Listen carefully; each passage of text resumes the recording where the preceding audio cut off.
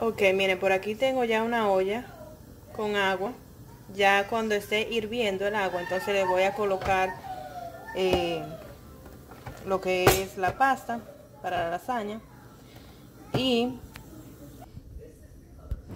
y algo que le quiero decir, un dato, que por ejemplo yo veo muchas personas que a veces les falta pasta o le sobra mucha. Yo lo que hago es que veo primero el, el molde, de qué tamaño es y mido más o menos eh, cuánto, cuánta lámina de esta más o menos necesito. Entonces, por ejemplo, te coge tres, tres abajo, tres al medio y tres arriba, son nueve.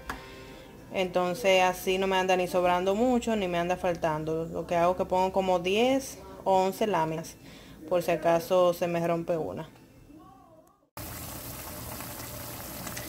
Miren, aquí tengo mi carne molida que le puse apio, un poquito de cilantro, un poquito de ají rojo. Se lo pongo así grande para sacárselo luego. Y le puse sazonadores así como adobo, adobo goya, paprika. Eh, ahí ustedes lo condimentan como, como hacen mayormente la carne normal.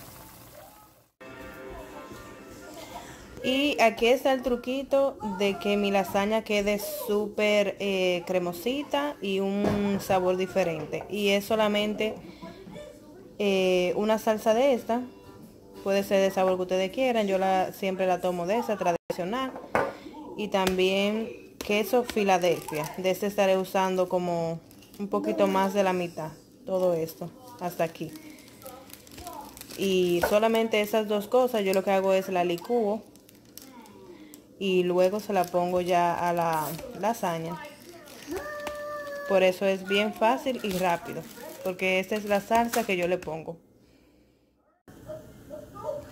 Como les estaba diciendo, entonces yo voy a licuar. Le pongo el potecito entero de salsa. Y le pongo también el pedazo de de queso Filadelfia. Así, un buen pedazo. Y eso le sale licuando. Entonces aquí tengo mi salsa ya licuada. Eso es lo que le voy a ir poniendo de a poquito. Miren, primero le voy a poner una capa de la salsa que ya hicimos con el cream cheese y la salsa ragú. Le pongo una capa de esto como para que no se pegue y luego vamos poniendo la capa de, pasta, luego de carne, un poquito de queso y volvemos con lo mismo y lo mismo. Ya el horno lo tengo calentando hace 15 minutos a 350 grados. Aquí ya agregué una capita de carne molida y ahora le estaré poniendo un poquito de salsa. Así.